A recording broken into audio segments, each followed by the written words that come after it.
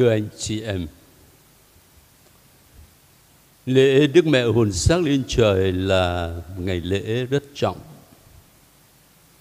Và cứ bình thường thì chúng ta có nhiều cử hành lớn lắm.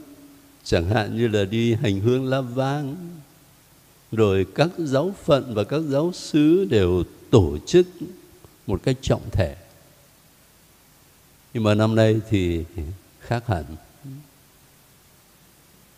Năm nay trong hoàn cảnh dịch bệnh tràn lan như thế này, kể cả quy tụ với nhau trong nhà thờ mà dâng thánh lễ cũng không được. Vậy thì ngày lễ hôm nay có ý nghĩa gì với chúng ta?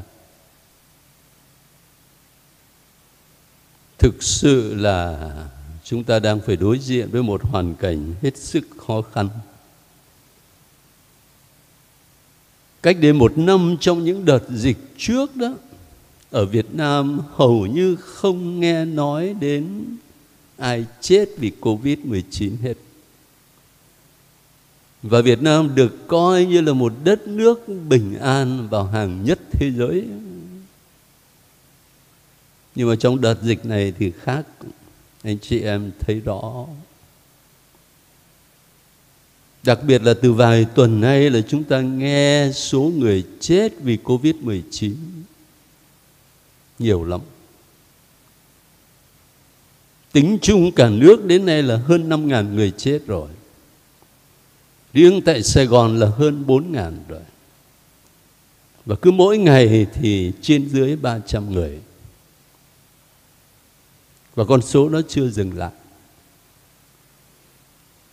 Và những hình ảnh về những lò thiêu ở Bình Hưng Hòa chẳng hạn mà người ta đăng ở trên mạng xã hội khiến cho nhiều người cảm thấy âu lo, sợ hãi.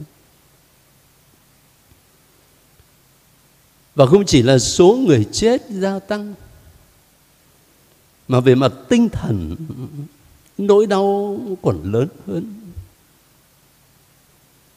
Người Việt Nam chúng ta ai cũng mong có chết thì được chết ở nhà bên cạnh người thân nhưng trong hoàn cảnh này những anh chị em mà chết vì Covid-19 thì đâu có được chết ở nhà. Thường là chết trong bệnh viện. Và khuôn mặt cuối cùng mình nhìn thấy trước khi từ giã cõi đời này không phải là khuôn mặt của những người thân yêu trong gia đình mà là khuôn mặt của bác sĩ, của y tá, của bức tường bệnh viện cái chết nào thì cũng là cái chết cô độc và cô đơn. Nhưng có lẽ trong hoàn cảnh này, người ta cảm nhận sự cô độc và cô đơn hơn bao giờ hết. Và không chỉ là nỗi đau cho người chết, mà còn là nỗi đau của người sống. Đau là bởi vì không thể hiện diện bên cạnh người thân trong giây phút cuối cùng đâu là bởi vì ngay cả lễ an táng cũng không thể có mặt. Rồi cuối cùng chỉ đưa tay nhận lấy hũ cho cốt mà người ta đem đến nhà thôi. Cho nên rất đau, rất buồn. Thưa anh chị em, trong một hoàn cảnh như thế và với những tâm tư như thế thì ngày lễ hôm nay lễ Đức Mẹ hồn xác lên trời có thể nói gì với chúng ta? Thì trước hết là chúng ta phải nhìn lại ý nghĩa của mầu nhiệm đức mẹ lên trời cả hồn lẫn xác. Ở bên Jerusalem cho đến bây giờ vẫn có một tu viện, có một tên gọi rất lạ tu viện Đức Bà Ngủ và trong tu viện đó, người ta thấy có bức tượng Đức Mẹ đang nằm ngủ. Cái tên gọi và bức tượng Đức Bà ngủ đó làm cho chúng ta nhớ tới là đã từ lâu rồi ở bên giáo hội Đông Phương có một ngày lễ, không phải là lễ Đức Mẹ lên trời, mà là lễ Đức Bà ngủ. Và như thế trong lòng dân Chúa đã từ rất lâu, có một niềm tin tưởng rằng Đức Mẹ được đưa về trời cả hồn lẫn xác, thân xác Đức Mẹ không bị hủy hoại như thân xác mọi người. Anh chị em có thể hỏi tôi, vậy thì trong Kinh Thánh có nói gì về Đức Mẹ lên trời không? Nếu chúng ta đi tìm trong Kinh Thánh một câu nói rõ ràng Đức Mẹ chết như thế nào và được đưa về trời cả hồn lẫn xác như thế nào thì thưa anh chị em không có đâu. Thế nhưng trong Kinh Thánh có khá nhiều hình ảnh, nhiều biểu tượng nói về mầu nhiệm Đức Mẹ lên trời cả hồn lẫn xác và theo dòng lịch sử trong ơn soi sáng của Chúa Thánh Thần, giáo hội dần dần càng ngày càng khám phá rõ nét hơn. Chẳng hạn như là những bài kinh thánh mà giáo hội à, chọn đọc trong ngày lễ hôm nay, đó là những cái bản văn căn bản để giúp cho chúng ta hiểu về mầu nhiệm Đức Mẹ lên trời. Chắc anh chị em nghe thoáng qua thì ít để ý lắm. Tôi chỉ muốn nói một điều thôi. Trong các bài đọc kinh thánh mà giáo hội chọn cho ngày lễ này,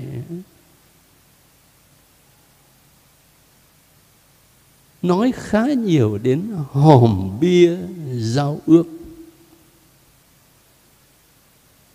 Hòm bia giao ước tức là cái hòm mà trong đó có cái tấm bia giao ước cái tấm bia trên đó mà Thiên Chúa đã viết 10 lời của Ngài.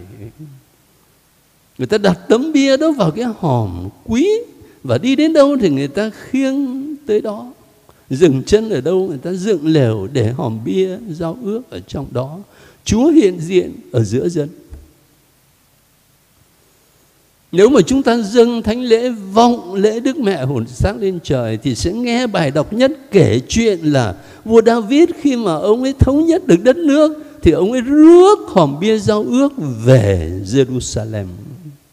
Đó là cái hình ảnh để nói Đức Mẹ được rước lên trời. Và trong bài đọc thứ nhất hôm nay cũng vậy. Trước khi mà Thánh Gioan, tác giả của sách Khải Huyền kể cho chúng ta nghe cái hình ảnh về người phụ nữ mang thai.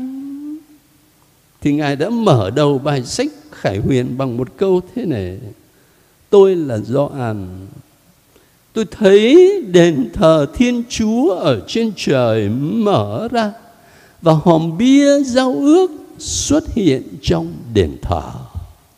Anh chị em thấy không? Hòm bia giao ước xuất hiện ở trong đền thờ mà là đền thờ trên trời á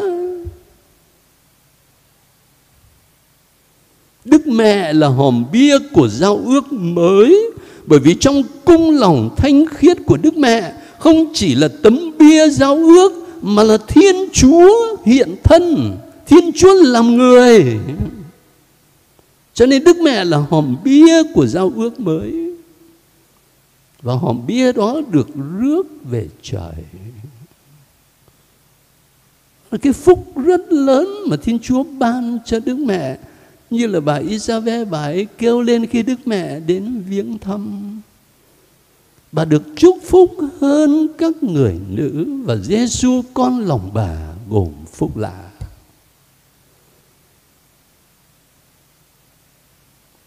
Những bản văn kinh thánh đó là nền tảng để giúp cho giáo hội trong dòng lịch sử của mình suy nghĩ rồi dần dần khám phá ra. Và cuối cùng năm 1950 sau khi đã tham khảo ý kiến của hàng giám mục trên toàn thế giới và được đón nhận một cách rất tích cực, thì Đức Giáo Hoàng Pio thứ 12 đã long trọng tuyên bố tín điều Đức Mẹ hồn xác lên trời. Vậy thì trong hoàn cảnh dịch bệnh này, tín điều đó nhắn nhủ chúng ta điều gì? Tôi nghĩ rất rõ ràng trong lời nguyện nhập lễ hôm nay. Tín điều Đức Mẹ hồn xác lên trời, Nhắn nhủ người công giáo chúng ta. Nhắn nhủ tất cả những ai là môn đệ của Chúa Giêsu. Là mục đích cuộc đời của mình là trời cao. Trời cao, chứ không chỉ là trái đất này mà thôi. Mục đích cuối cùng là trời cao cái chết không phải là dấu chấm hết mà là cánh cửa để mở ra sự sống đời đời cho chúng ta và cho dù rất buồn nhưng mà trong đức tin thì ta có thể nói với nhau rằng đó là một niềm an ủi rất lớn cho những ai đặt niềm tin tưởng vào Chúa. Để khi chúng ta phải tiễn đưa một người thân qua đời, đặc biệt là trong cái mùa dịch bệnh này, mình không cảm thấy thất vọng quá sức. Nhưng mà tin tưởng rằng người thân yêu của mình sẽ được Chúa đưa vào cõi sống và mình có cơ hội gặp lại thế rồi, bởi vì cái mục đích cuối cùng cuộc đời chúng ta là trời cao, cho nên cái thời gian mình sống ở trần gian này, thưa anh chị em, là mình đang trên đường đi mình là khách hành hương. Hay nói một cách khác cơ, văn vẻ như là nhạc sĩ trịnh công sơn ở trọ. Con chim ở đậu cành tre, tôi nay ở trọ trần gian ở trọ thôi, dù có hộ khẩu thường trú. Sớm muộn rồi thì cũng đi chỗ khác thôi. Người ta đọc thấy trên một tấm bia mộ, một dòng chữ như thế này. Tôi đã từng giống như bạn đứng đây nhìn mộ người đã chết. Một ngày nào đó, nơi tôi ở hiện nay sẽ là nơi của bạn. Không chết vì covid thì một lúc nào đó cũng chết thôi anh chị em chúng ta là khách hành hương thôi, ở trọ thôi. Và là khách hành hương thì mình đem theo cái hành trang gì đấy. Đem theo hành trang gì mà sau cuộc đời này vẫn còn tồn tại mãi? Chắc không phải là của cải vật chất đâu. Có là tỷ phú đi nữa thì chết thì cũng hai bàn tay trắng thôi chắc không phải là quyền lực thế gian đâu. Có làm tổng thống đi nữa, thì chết cũng chả đem được gì. Điều mà chúng ta có thể đem theo là những giá trị tinh thần nó còn mãi. Và đức mẹ dạy chúng ta giá trị tinh thần đó là gì? Giá trị tinh thần đó là sự vâng phục đối với lời chúa tôi đây là nữ tỳ của chúa xin vâng như lời thiên sứ truyền Đức mẹ sống với sự vâng phục đối với lời Chúa, lấy lời Chúa làm ánh sáng hướng dẫn cho mình. Giá trị đó là tình yêu thương. Thánh Luca kể trong bài tin mừng hôm nay là Đức mẹ vội vã lên đường đi đến miền núi để đi thăm bà Elizabeth. Đi thăm, chia sẻ niềm vui với bà đồng thời giúp đỡ bà sắp sinh con. Giá trị tinh thần đó là sự khiêm tốn. Đức mẹ được biết bao nhiêu ơn cao trọng nhưng mà Đức mẹ xưng mình là nữ tỳ của Chúa. Cho nên cất tiếng linh hồn tôi ngợi khen Chúa. Thần trí tôi vui mừng hoan hỉ trong Thiên Chúa đấng cứu độ tôi.